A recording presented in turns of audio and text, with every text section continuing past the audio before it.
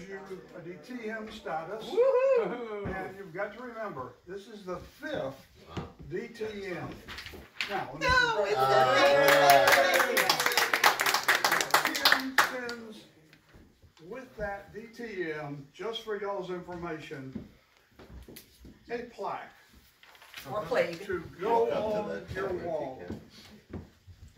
And that plaque is very, very, I would say, exciting, because in every year, they change the pattern. About every three years. Now Sharon has five of these, and I don't know whether all of them are equal to each other, because I can guarantee you they're probably not. I only have three, but at the same time, all three are different. And they, some of them were only two years apart. So I don't know who the low bidder is, but we probably got it.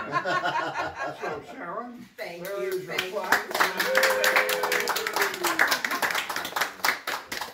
Uh, just that, just, uh, pretend you know each other.